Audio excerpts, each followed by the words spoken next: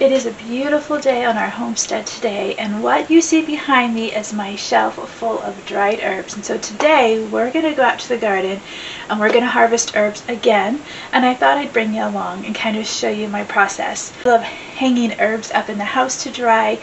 I do have dehydrators. I know they can be done in there. I have before but in the middle of summer and all the chaos and everything else that God has called me to spend my time on, it's so nice to just come in and just hang my herbs up. By the time these are dry and I'm ready to put them in jars, crunch them up, I'll show you all that process, of all the things that I do. I am ready to go back out and harvest again. So if you have herbs in your garden and you want to bring them in and dehydrate them and they are herbs that you can harvest throughout the year, this would be our third harvest that we're going out to do. This might be a tip for you. Once you hang them, once they're crispy, about a week to two weeks later, your plants are ready to harvest again. So I'm going to show you inside where we hang our herbs, and I'm going to bring you outside and show you where all our herbs are growing. We have lots of herbs throughout our property. We've tucked them in here, there, and everywhere. And just like our home, we try and maximize our space and steward well what God has put in our life. And so my home just like my yard, has things tucked in every nook and corner so that we can just use our space efficiently.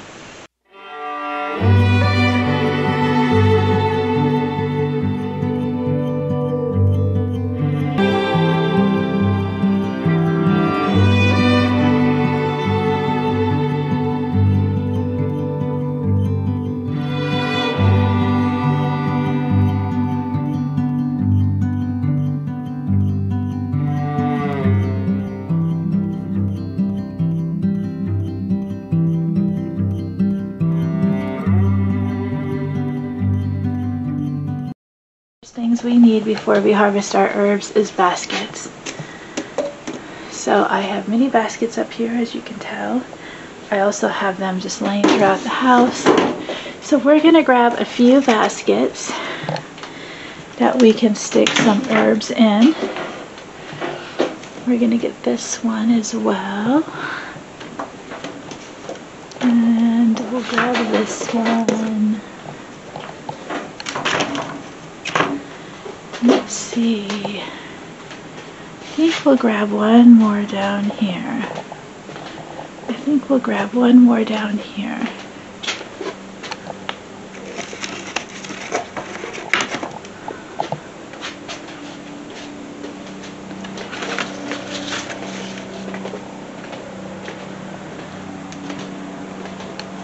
Another thing that we need are scissors so we can cut our herbs.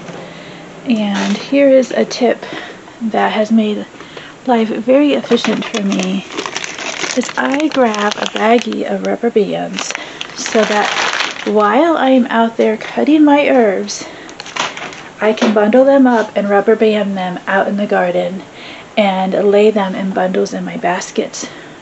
I have brought these in before on my table and bundled them up in the house. But I have found to save time and to just be so much more efficient when I come inside and see all the other things that need my attention, like sink full of dishes and eggs that need washed and other things I need to do, I can just take these bundles of herbs and just hang them up throughout the house and go on with my day. So one of the first places that I will bring you to that has herbs is this back garden right off of our deck going into our backyard. This was our, first original herb garden when we first moved in here about 17 years ago. And so I have mint. I have two kinds of mint out here. And honestly, I have tried digging it up and tried laying mulch, and I feel like I'm just, I let it grow. honestly, I am one of those crazy ladies who let mint just grow, especially in these medicinal perennial beds. We have all sorts of flowers and other things that I use medicinally. And so I let my mint go as my ground cover. I will let it take over. It actually crowds the weeds out. And the idea is that you will come out and harvest from this area three to five times a season. And so then as it's growing as a ground cover and it's helping the weeds, I'm coming out here and I'm trimming it back and trimming it back and trimming it back. I might be crazy and totally off my rocker for letting mint just have its way in my flower beds, but it gives me a harvest, it helps with the weeds, and it also adds just so much more um, flowers for the pollinators and stuff. So right now we have a whole bunch of mint right here one of the times of day that is ideal to pick your herbs is early in the morning after the dew has settled or in the evening time around dusk. I am trying to beat the bees. There are already bumblebees out, I see, and so getting out here before the heat of the day, you will you won't have to fight the pollinators for all of the herbs. So I'm going to first cut this mint and then over here we have some more mint. This is chocolate mint and peppermint again. This perennial bed over here, we don't have any mint yet growing, which is totally fine. But we also have some other things that I haven't really harvested yet medicinally, like the Queen Anne's lace and um, the catnip and stuff. So so the first area that we're going to harvest is this peppermint. And it is okay to harvest your mint with the flowers on. The flowers are actually edible too. So when I dry this, I will just break it all up into tea. We're going to Harvard. the next area that we are going to harvest herbs from is our tea garden. So, but we are basically working on our mints today and then one day I'm going to have to come back and do like the yarrow and some other things. I have marshmallow on the other side that I need to harvest. So today I'm going to stay focused on mints. So inside this tea garden, which you guys have all seen before, we have six different beds and each bed has a different kind of mint. As you can tell, they are really ready to be harvested. And we've been trying to plant things in this garden, of course, that are good for teas. So I have lavender, I have edible daisies, two kinds of chamomile. Each bed has a miniature rose, so we're trying to add a little bit of beauty along with being able to use the rose petals for tea. And so this is going to be our next area. We also have chives, next area to harvest. So this bed is chocolate mint. This bed is apple mint. This is one of my favorite mints to grow. It gets about two, about three feet tall, and the leaves are big. It's very mild compared to some of the other mints. This bed has chamomile, which has already been harvested, and um, this has orange mint. That's what that one's called, and I have to make sure I label that one. And it looks like we also have a beautiful flower down here somewhere. I didn't see that before. So that's orange mint. Actually, this is peppermint. This is the orange mint. The leaves that are like half circles. So that is peppermint. And then over here we have spearmint, which is what's in the middle. And I believe this is chocolate mint. No, this is spearmint. I think there's two kinds of spearmint in there. Yeah, chocolate mint, spearmint. Y'all, it gets confusing. that is why I have signs. um, so yes, we have two kinds of spearmint in this one. This bed we have curly mint, which just kind of gets all over the place. Comes out of the side of the beds. As you can see, there's a whole patch of curly mint there.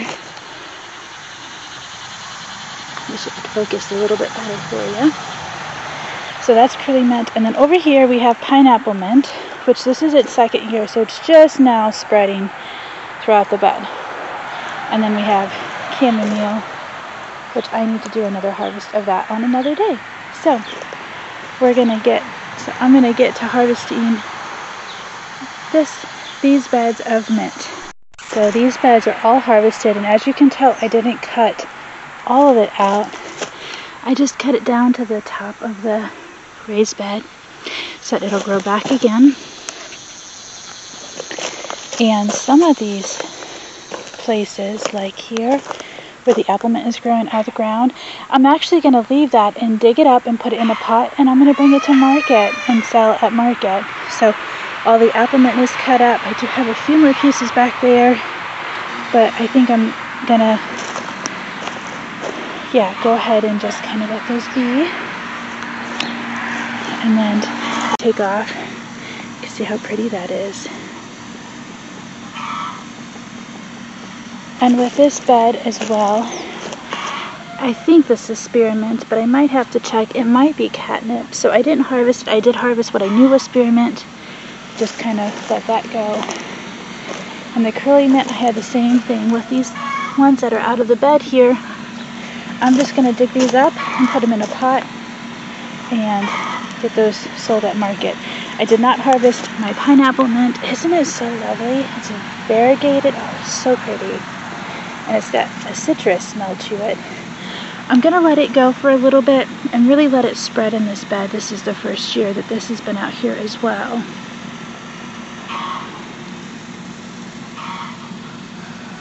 This place to harvest our herbs for this morning is our herb garden. This was created about four to five years ago and the idea was that I would have boxes that were divided into sections and each section would have a different herb.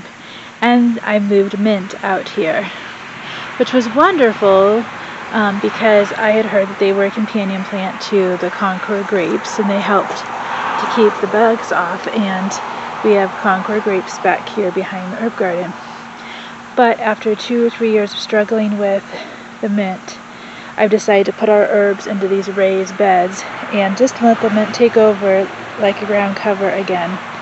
So we have two kinds of mint in this bed. We have peppermint and chocolate mint. So I do the same thing I do in my flower beds. I come out here and I just try and harvest on a regular basis so that it doesn't take over too much and I could manage it and be a good steward of it. We have mint along right here and then over here we have or peppermint. We have peppermint here and here. And then in the back, I think we have a tiny little bit of curly mint. So I'm going to go ahead and harvest the last of our mints in the garden for this morning before before the bees beat me to it. And the the herbs here are harvested. I am leaving some mint and I'm probably going to come through with the weed trimmer and get the pathways. I had a friend ask me recently, how do you do it all? She was I think, impressed with some of the pictures and the things that I was showing her. And I said, the truth is, I don't. And what I can do, I do with God's grace and mercy alone. And His strength, because here's an example. There's nothing planted in these beds. This is an oregano that's went to seed a long time ago. It is a perennial here, so my thought was to probably dig it up and put it somewhere else. I don't have anything growing in these beds except mint. And there's weeds mixed in here. The raspberries I need to weave throughout here. Most of these raspberries and these cattle panels didn't do very well.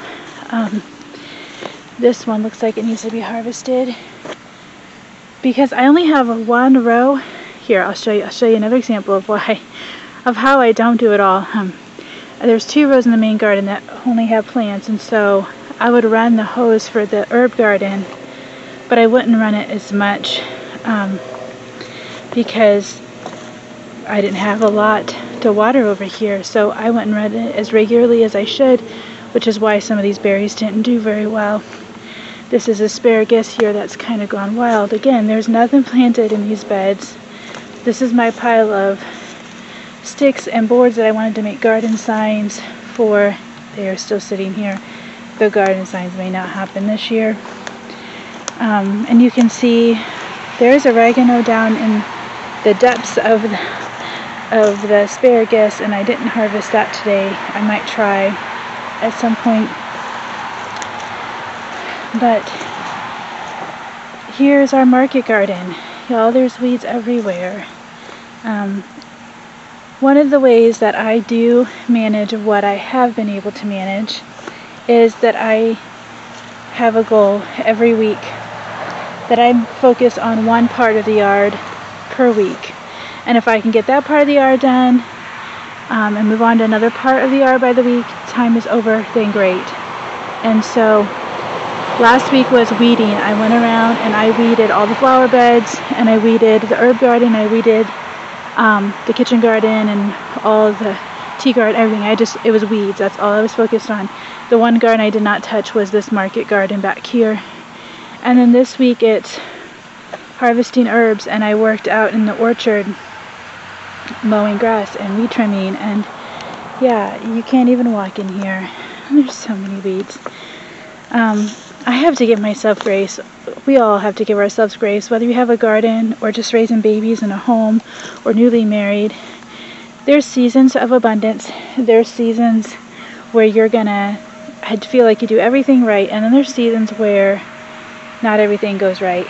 Um, our market garden, all our beds got ruined this winter with a big snowdrift, so I had to take the beds off and I laid plastic down trying to grow what I could with what I had, and I planted over 100 tomatoes and squash in these beds, and we had a vole come through and ruin them, and we had really extreme heat for the two days after I planted. And even though I was watering between the, the voles, there were two of them. They were running around under the plastic. Do you see that hummingbird over there? Oh, I wish I could zoom in on her. She's on my trumpet vine. See if I can get you. Um, anyway, this whole garden, these plants were gone within two weeks of planting. And so I need to come out here with the weed trimmer and just trim it all up. There is some lemon balm in here that I might harvest down in that area. But guys, this is this is the good, the bad, the ugly. you see all the beautiful gardens and the places that I've made as such a sanctuary for me to go to. And this is not one of them. but you know what? I can focus on this when I have the time to do it and I know that my weed trimmer is my friend because I can just come through here and I can just weed trim up all these weeds that are down here and our goal is to build new raised beds this winter, maybe fall, and get some new raised beds built and then just be able to reconstruct this space, lay down some plastic, put some pathways in. That's okay. The, the trumpet vine though, I would love for it to go along the whole back fence. So I'm slowly trying to whittle it down so it covers the whole back fence of this big garden. But on this side, another bed of stuff that was ruined. On this side, we have some tomatoes in this bed that are struggling. I'm watering this garden as soon as, um, tonight, as soon as I get done harvesting the herbs because the sprinkler system um, is the same. See, we use these T-posts. And so when I water this, it waters the herb garden. I really wanted to get those herbs harvested. I do have some melons that are, they're doing okay. I'm going to come back and check and see if I need to pollinate those. And then this is a row of tomatoes that seems to be doing well. I have to come through here and prune them. But that is all I have growing back here. I mean, we have the gardens over there, the perennial beds, and some oregano. And then we have a little rhubarb patch. I'll just walk you over here. Um, we have some chives here in this bed. This is some oregano I transplanted. Um, yeah, see, I like the flower beds to just kind of do their thing as like a medicinal perennial bed and I can harvest stuff for teas and jelly. This had peas in it, but the storm must have knocked them over. This is a small rhubarb patch, and I don't know if y'all grow rhubarb, but I'm wondering if I need to move it. I don't feel like it's doing very well. Um, some of the leaves are dying.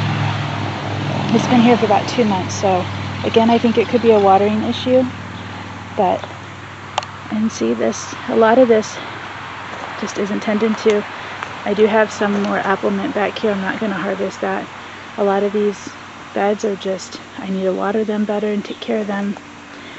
So yeah, this is proof that we don't get it all done. Ooh, a volunteer sunflower. I might just let it go and see what happens. There are some spaces in my yard that are beautiful and lovely, and I really enjoy spending time out there. And there are some spaces in my yard that I avoid until I can get the motivation and the discipline to go out there and take better care of it. So for now, we are going to take our mint inside and I will come out here another day and tip all these raspberries, pull all of the ends, all the pinch, you pinch all the tips off and it creates more vines. Get them weaved in and out of the fence, get this all weed trimmed up and focus on what I can focus on.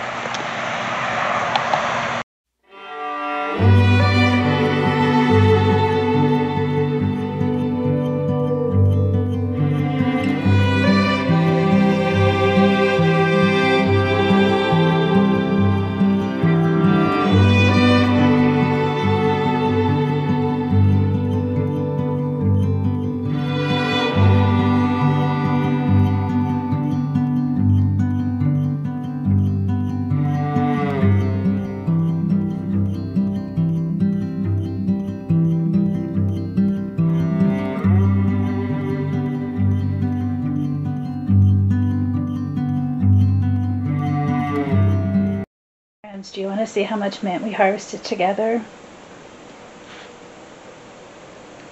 A whole farmhouse table full. Can you believe that? This is amazing. This is what helps me when I see parts of my yard and my gardens that aren't doing so well. This is mint. so, we did quite a bit of harvesting I am surprised every time I harvest how much comes out of those gardens, just those three spots that we took from. So I have got to go through here and I'm going to break up some of these bundles because you don't want to hang your herbs in a huge bundle um, because if there is moisture in them, you know, they could mold easily. So you want to kind of break them up to a manageable size. I'll show you like this might be like the thickest that you would want that to be.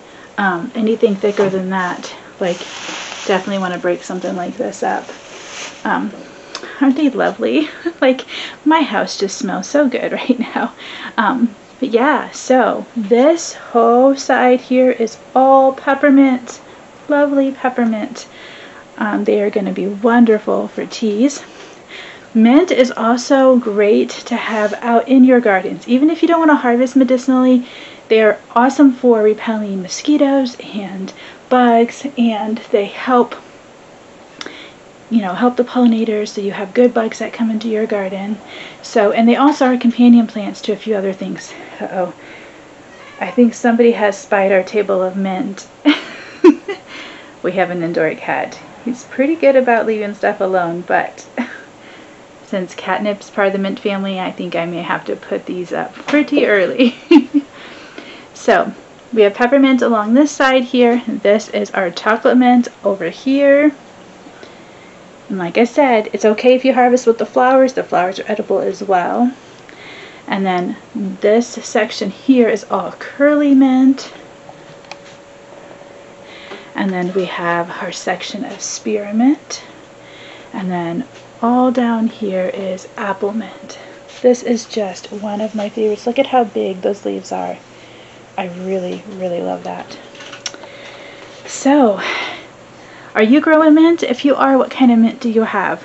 I have, I'm going to name them, I can't remember how many. I have apple mint and peppermint and spearmint and pineapple mint and orange mint and chocolate mint. So I think I have six. And we don't have any mint over in the orchard garden, which is actually where I want to put some, you know, in some pots or just having them and a section like I don't mind taking, you know, taking the room. Um, somebody had putting them over in the orchard where I can like let them just take over a little space and have again another place to have mint another place for pollinators. I have heard that they are good under fruit trees as a fruit guild. A bunch of fruit trees out there that I am building a guild around some of them have like echinacea and bee balm and other things, so mint might be an idea to put out there around them. And again, like I said, they are invasive. People get scared by that word. That just means you have to take care of it and it, it deserves a little extra attention. Give it grace and mercy. Don't put it in a place where you know, it you, it's going to do what God created it to do and you get mad. like give it a place where it can, you know, grow and thrive and then harvest it. You know, don't let it go to waste. There are times when I don't harvest my mint and it gets reseeded and it just grows back again next year. All of these mints are perennial in my area. They will all come back again. And so, yeah, I just encourage you. This this is what we're created to do.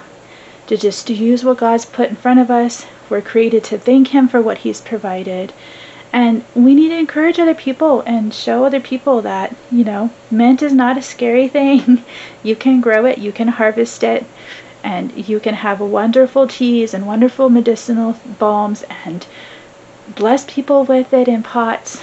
All things, friends, all things. Well, I am off to divide up my mint and hang it throughout my house, and I will bring you along and show you how I process all the mints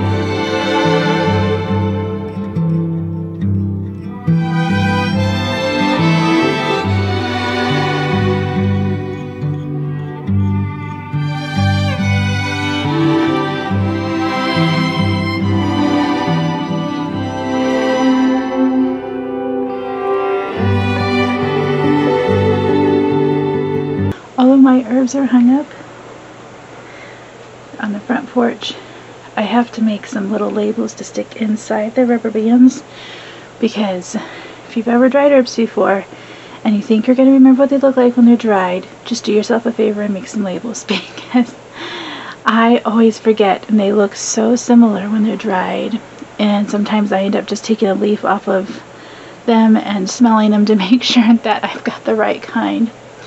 And then in the kitchen, this is full once again.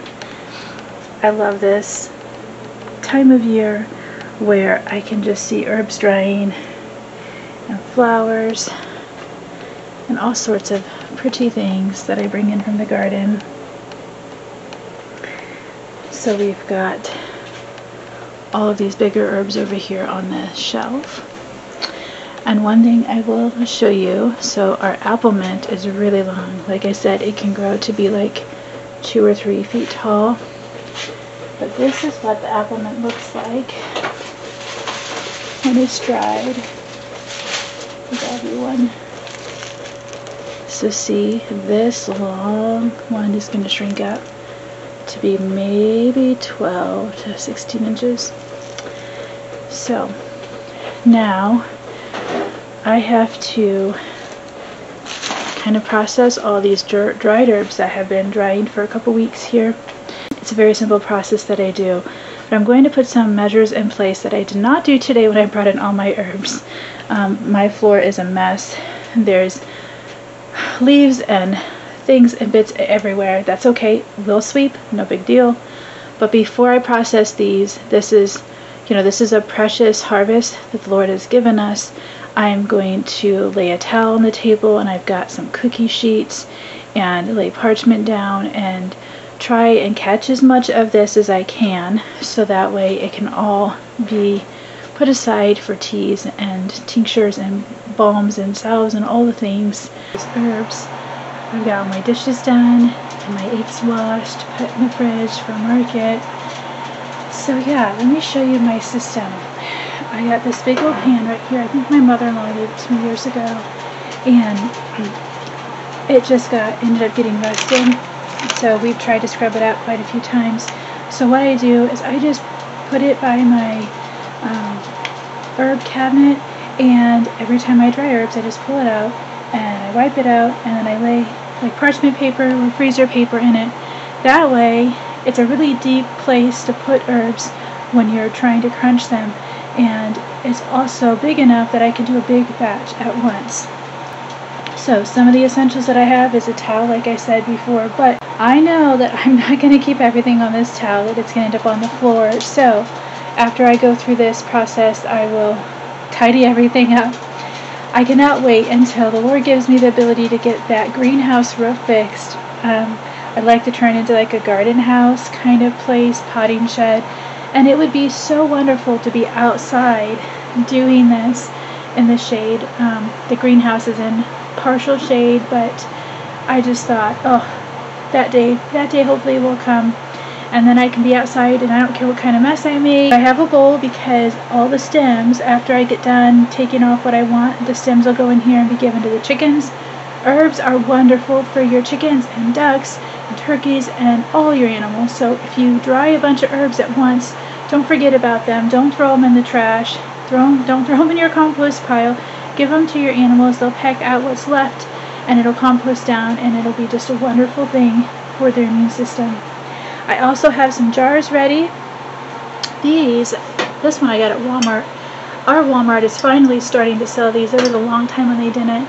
And so keep an eye out for Walmart. These are perfect jars for dehydrating um, items like herbs and, you know, dried, sun-dried tomatoes, stuff like that. A lot of herbs in there for tea. So I really want to start stocking up on those here and there so that I can have um, my tea cabinet full of loose leaf herbs and big containers like that when I'm starting to make my tea blends. So one thing that you need to make sure you do with your jars or whatever container you want to put your dried herbs in is make sure they are clean, but make sure they are absolutely dry. And make sure your funnel is dry, make sure your lids are dry, make sure your hands are dry. You do not want to go through all this work of harvesting and growing and drying herbs to find that there's a tiny little bit of moisture in something and a few weeks later you open it up and there's mold. So always just take that extra step. Sometimes I will just make sure my jars are washed a few days before and set them on the table to air dry so that I can just be absolutely sure there is no water in them. So I'm going to show you how easy it is to do this. Oh, one other tip too is when you use stuff like parchment paper or freezer paper is what we're using today, um, or wax paper, anything you can get your hands on, and they actually have them at Dollar Tree, so you don't even have to spend a lot to do this. Um, you can put all, you can do all your mints on one sheet. Now I'm not saying mix them together, but like I will do my chocolate mint, and then I will do my peppermint, and then I will do my apple mint, and then after I'm done crunching it up, and I scrape it out and put it in its jar, then I will switch this to a different one, or since the freezer paper is pretty thick, you could almost flip it but because my pan is not very clean, I'm going to switch it, and then I will do my savory herbs. Like I have a couple bunches of oregano that I want to do. So make sure that you maximize what you have, what you're using, and as long as, you know, you wipe out, funnel out everything that's in here, if a tiny little bit of the flavors mix and mince, it's not going to do you any you know harm. It's not going to even you won't even taste the difference. Um, so the first thing we're going to do is these. I believe these are all lemon balm. And see, look at how similar these look. So a lot of times, like I said, your herbs look so similar once they're dried. This is lemon balm. Then I have some peppermint right here. And so it's really, really hard sometimes to tell the difference. And then chocolate mint over here the leaves of the chocolate mint look a little bit different. I could tell because the stems are purple on the chocolate mint. But one way, see when you don't label, you're over here doing a sniff test like on every bundle to make sure they're right. And that's, I didn't even harvest my lemon balm with y'all yesterday. I have a whole bunch of lemon balm in two parts of the yard that I need to harvest.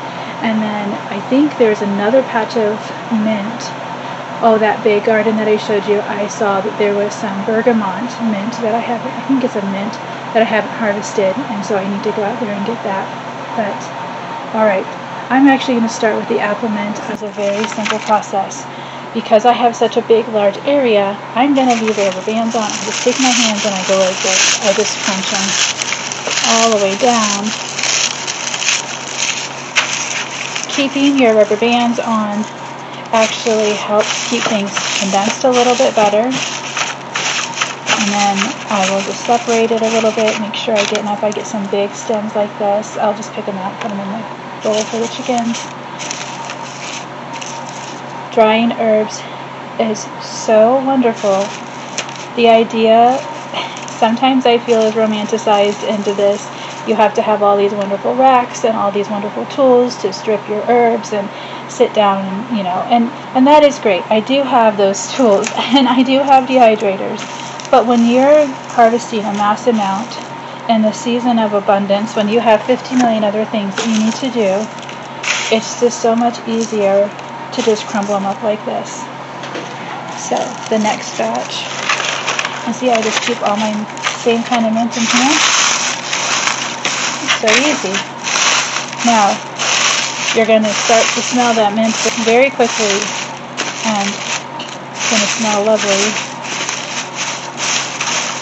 So you just keep crumpling. That's why it's really good to make sure that your herbs are nice and dry, hanging up in your house, so that when it comes to this step, you are using your time wisely and you are also making sure that you get most of those leaves off of those stems.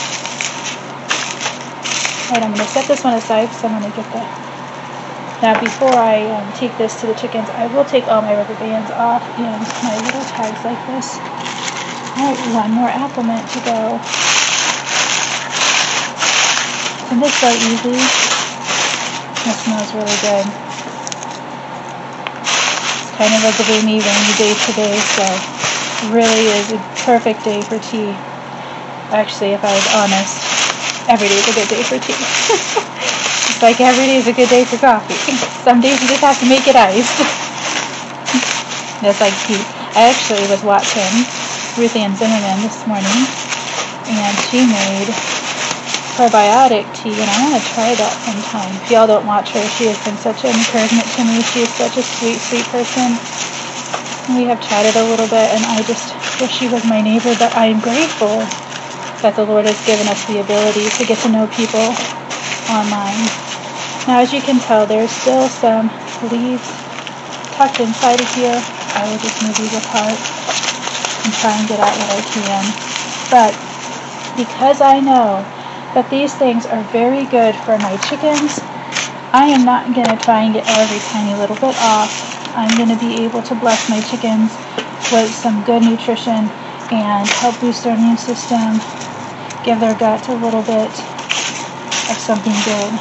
So as I go through here, I pick out anything that's hard and I just throw it in the chicken bucket. Now I don't grind my pieces up very fine when I get ready to make the teas. Um,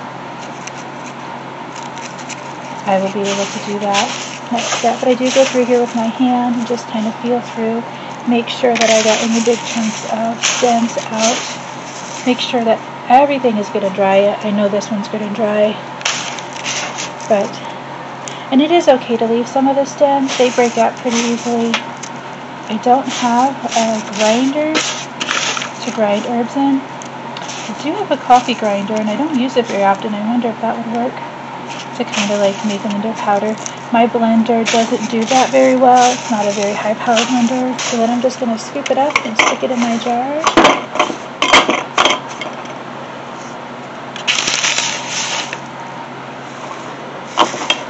Apple mint is really good for teas. It's um, really good if you would let, you know, if you want to make a syrup with it to use.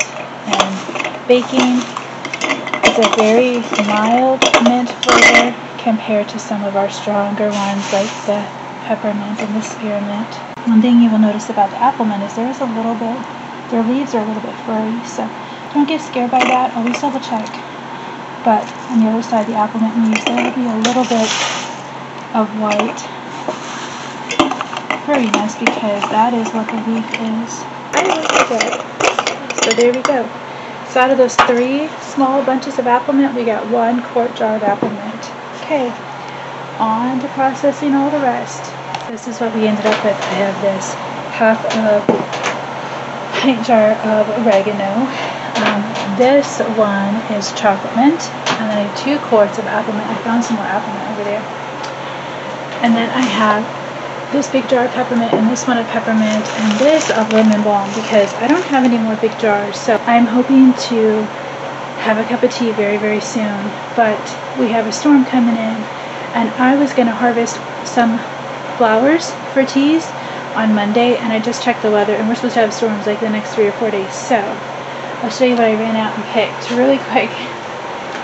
We have this big old basket of echinacea and my white echinacea finally bloomed this year. I'm so happy. Another bag of echinacea.